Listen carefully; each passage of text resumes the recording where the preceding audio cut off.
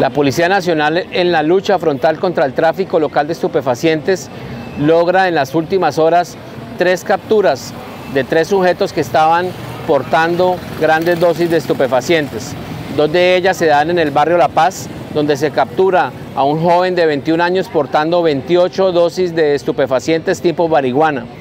y a otro joven de 19 años portando 30 dosis de marihuana listas para ser distribuidas. De igual manera, en el barrio Las Camelias de la Comuna 5 se logra la captura de un sujeto de 33 años quien al practicarle el registro a persona se le encontraron 23 dosis de marihuana. Con este tipo de resultados la Policía Nacional demuestra su compromiso en contrarrestar